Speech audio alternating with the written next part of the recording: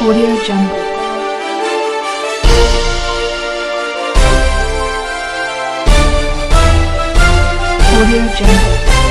चेन्नई व अन्य शहरों में गुरुवार को हुई बारिश ने शहरवासियों के लिए एक बार फिर मुसीबत पैदा कर दी। यहाँ पर सड़कों पर पानी भर गया, जिसके चलते यातायात में भी अड़चने पैदा हो गईं।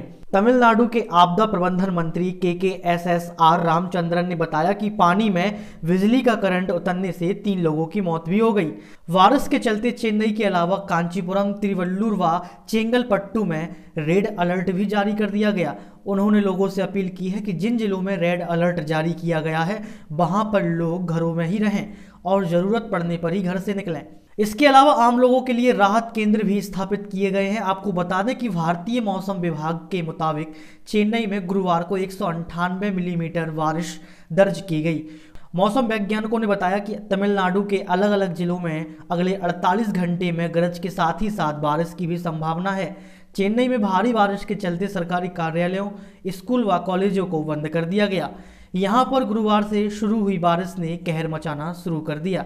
कई जगह सड़कों पर पानी भी भर गया, जिससे शहर यातायात की समस्या से जूझ रहा है।